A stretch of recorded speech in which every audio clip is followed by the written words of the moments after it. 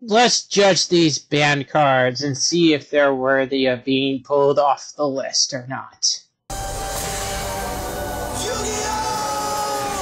Hello, everyone, and welcome back to another uh, episode of Can This Card Be Unbanned? So, like usual, let's take a look at the comments from last time.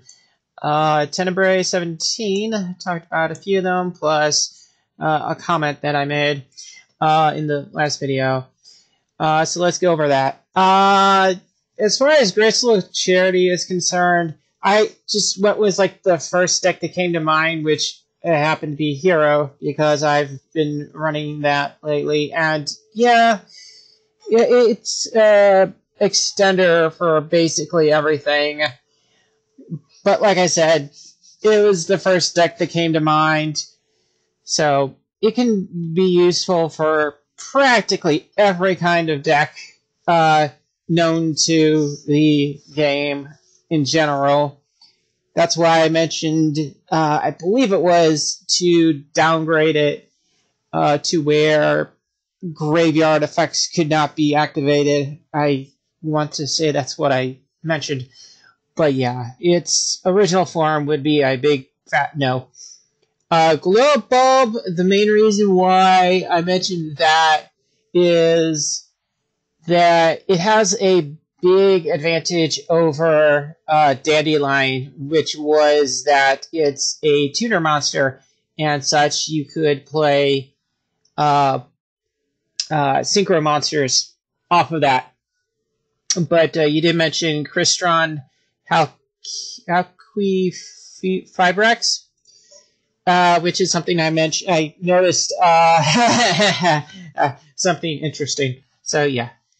Um, but as far as that card is concerned, I can still say it would could still be a problem with it being a tuner monster but yeah, it's it, it this is very uh, nice to like discuss stuff like this.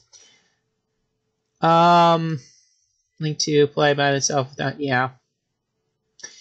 Now I did look at the card mentioned. Uh, yeah, there's there. Yeah, I'm just gonna leave it at that.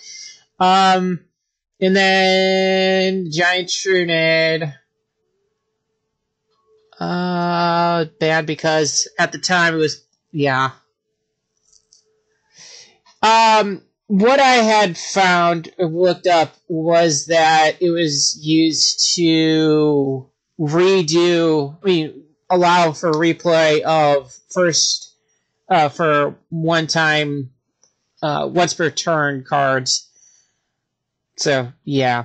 And as far as the last thing is concerned, um, the main reason why I mentioned, like, even at the digital level, is that before the information gets out, they could have some sort of, like, playtesting to kind of reword it so that it doesn't become a problem right off the bat.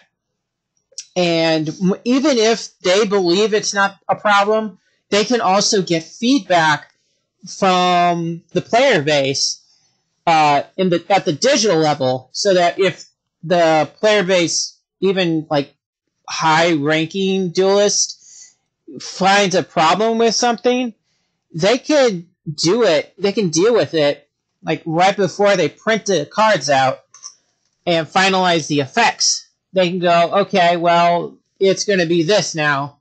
A disclaimer, something like that.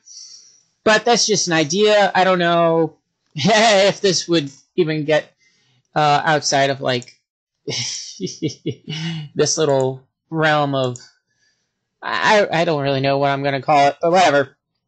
So yeah, it, it's just an idea I, I'm throwing out in terms of seeing how they could better improve certain things. But anyways, with that out of the way, uh, let's jump into today's cards. And the first one for today, funny enough, Crystron Halqifibrax. I had just noticed that I didn't even touch upon this one um, until I read the comment like a few minutes ago or something like that. But anyways, Crystron Halqifibrax is a link to uh, machine link monster, and its effect is uh, it can it it uh, requires two monsters, including a tuner. If this card is link summoned, you can special summon one level 3 or lower tuner monster from your hand or deck in defense position, but it cannot activate its effects this turn. During your opponent's main phase or battle phase, quick effect. You can banish this card. Your opponent. This, you can banish this card you control. Special summon one tuner synchro monster from your extra deck. This is treated as a synchro summon. You can use only use each effect of Crystron Happy Fibrax uh, once per turn. So this was one of them that was mentioned by uh, Tenebrae uh, 17. And uh, I can definitely see why they banned um, Fibrax.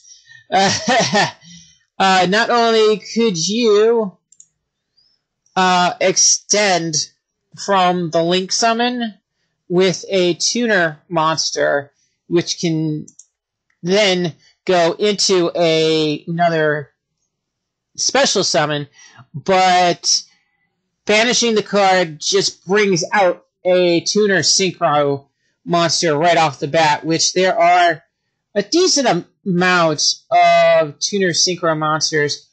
I forgot how many, but there are a decent amount. So, yes. And if this card was still live when they brought out Jack's deck, I want to say one of the Archfiend card, um, I want to say one of the Archfiend cards was a tuner synchro. Yeah, it would be even more of a problem. So that's why they banned it. Um, now, as far as Fibrax, oh boy, uh, they would have to downgrade like everything in the card itself just to see some resent some semblance of it uh, coming back. So I highly doubt it'll ever come back. It's just too good. There has to be some. There would have to be some. Uh, like future proofing for a downgraded one. But to be able to just grab a synchro monster, even if it was just a tuner one, is quite something. So, yeah. Also, I think it has to be in the graveyard to be able to be banished, unless you can just banish straight from the uh, play from the uh, play zone, from the uh, monsters, whatever. so yeah, uh, this one uh, definitely just keep on the ban list. Uh, so yeah, now, uh, next card for today is Grinder Golem. Grinder Golem is a level 8 Dark Fiend monster, and its effect is cannot be normal summoned or set. Must first be special summoned from your hand to your opponent's side of the field by special summoning two grinder tokens, Fiend type Dark, level 1, 0 attack and defense, in face up attack position on your side of the field. If you special summon this monster, you cannot normal or set a monster during the same turn. And what Grinder Golem could do is that it could just continuously special summon Grinder tokens, which can be used for uh, Link summons. Now, the card itself was not made during the Link era, and this was found out rather easily with the era of Link summons, and uh, yeah, that's why it was banned. Um, now, as far as bringing the card back, it would have to have a it would have to have a significant nerf to it. Uh, the major nerf is that it could only be special summoned once per turn. Now, the reason why is because each time you would special summon, you would get those two grinder tokens. However, if you limit it to just once per turn, you would have to, you would then limit the amount of times that those tokens can be brought to the field, which then uh, ca- uh, slows down like major turns. So yes. Now, as far as its original form, there are a fair number of cards that are being played right now that can deal with Grinder Golem. However, if the opponent doesn't have those cards on the field or in their hand, yes, this can still be a huge problem. And uh, unless there's a unless unless, unless the play field right now favors return of Grinder Golem, I'm going to say no. But with a nerf saying you can only special summon the card once per turn, hard per, once per turn, yeah, I can see that being at a one per deck. So, yes. Now, let's move on to card number three.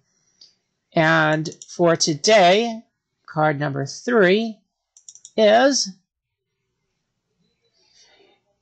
Gar Dragon Agrapane. And what is Guardragon Agarpain?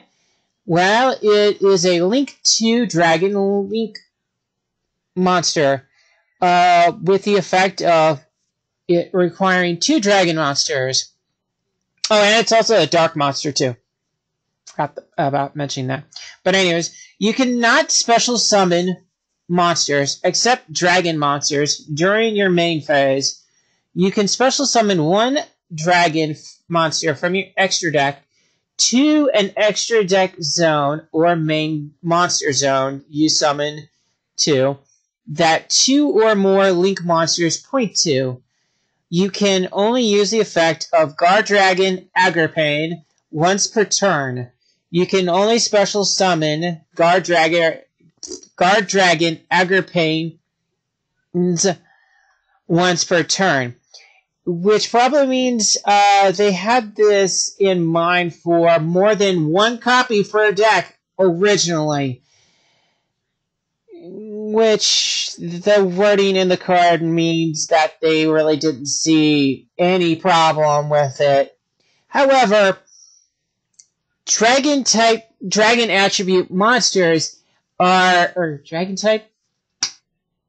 I think so.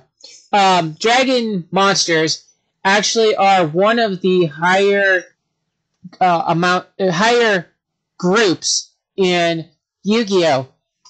I mean, it's also one of the oldest ones, too. So, I'm surprised they put that in there. Now, as far as Guardragon Agarpain, now, unless, yeah, apart from, uh, now, considering the card itself, or concerning the card itself, unless dragons have fallen out of favor across the board, maybe. But considering the fact that there are still dragon decks, hell, they just brought out Jack's structure deck, which has dragons in it. Um, I would definitely say no.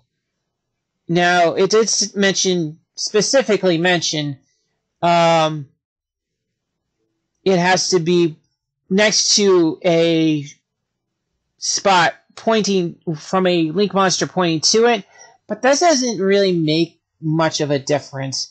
You can still special summon one of them right underneath Guardragon Agarpain. So you can still extend off of that. Um, special summon has whatever. But I mean, still, you can still special summon off of it as long as something's pointed to it. So yeah. Um, now, as far as what combination we use for. Uh, whatever I looked up, it just listed what I just said. You could extend, I believe it was. And so yeah. Now, in terms of how to solve this, uh, yeah, I don't know if there really is something you can use or do to Guardragon Agarpain that would solve this card. Yeah, so uh, this would just be a big fat no, cannot be brought back to the game whatsoever. Um, until dragons become like one of the least used decks, and even then you would have to hard once per duel the effect, honestly. But regardless, uh, no. uh, and for the last card for today, we have Guard Dragon LP. So, Guard Dragon LP is a Link 1 Dragon Dark monster with the effect of one level 4 or lower dragon monster. You cannot special summon monsters except dragon monsters. Uh, during your main phase, you can special summon one dragon monster from your hand or deck to your zone that two or more link monsters point to. You can only use this effect of Guard Dragon LP once per turn. You can only special summon one Guardragon Elpy once per turn. Now, this uh, card's effect is not much, not too different from the last one, which was Agarpain. And once again, they probably initially wanted it to be at least two per deck because they included the S at the end of Elpy. Now, um, in terms of why it was banned, you can tell because of the effect. Once again, it could just bring out a card uh, for free at the cost of it being two zones that a mon- uh, a zone that two link monsters, at least two monsters, have pointed to. So it's not that difficult if you have the right kind of deck. Once again, it Rise on Dragons a type that is one of the biggest amounts, uh, on top of it being dark, which is one of the two highest attributes. Um, now, in terms of solving this and or if it can just be brought back, uh, no. Once again, unless there's like a almost non-existent wanting of a dragon deck with a fair number of link monsters in it, uh, no, cannot be com- it cannot be brought back in its original form, and it would have to have a hard once per duel effect, um, for it to see normal play even outside of like just a single copy. So, unless there's another way to bring it back, like I said, it would have to be a hard once per tur- uh, duel for any thought about it being brought back for it, this one or for Agarpain. So I really am not sure about this and the other card. So any thoughts, any ideas on how these two cards can be brought back, if at all, uh, go ahead and discuss that in the comments below. And that is going to do it for me today. Uh, next time we will discuss uh, starting heavy metal foes, uh, Electrumite. So, yes. Uh, until next time, everyone. Goodbye. Uh, enjoy and enjoy the rest of your day.